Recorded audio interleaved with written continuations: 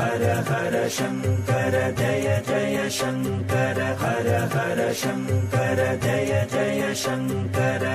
குலதெய்வம் கோவிலுக்கு போ போ என்று உங்கள் மனம் உங்களை உந்தும். ஆனால் எப்போ குலதெய்வம் கோயிலுக்கு போகணும் என்று நினைத்தாலும் ஒவ்வொரு தடவையும் ஏதோ ஒன்று போக முடியாமல் பண்ணிவிடும்.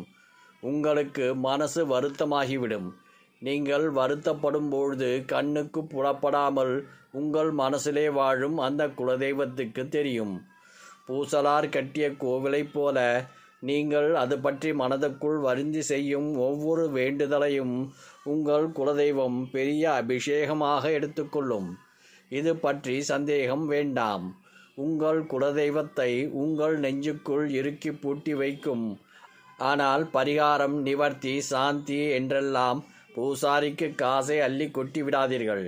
சாப்பாட்டுக்கு கூட வழி இல்லாமல் கஷ்டப்படுகின்ற குழந்தைகளுக்கு அந்த பணத்தில் புத்தகம் சாப்பாடு என்று ஏதாவது வாங்கி கொடுங்கள். அன்றிரவே உங்கள் குலதெய்வம் உங்கள் கனவில் வந்து எல்லாம் திருப்தி என்று சொல்லும். உங்களை வர முடியாமல் பண்ணுற தடைகளை உடைத்து உங்களை தன்னிடம் வர வைக்கும் அப்படி நேராக குலதெய்வம் கோயிலுக்கு போகும்பொழுது இந்த பொருட்களை எல்லாம் வாங்கி கொண்டு போய் கொடுக்கணும்.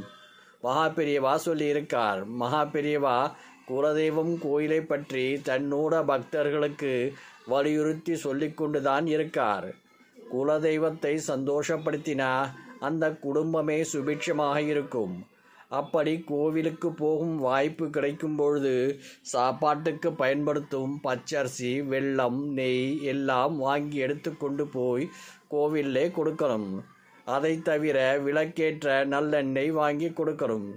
இதை மட்டும் தவறாமல் செய். உன் குடும்பத்தை உன் குலதெய்வம் உள்ளங்கையில் வைத்து தாங்கும்னு மகா பெரியவா சொல்லியிருக்கார்.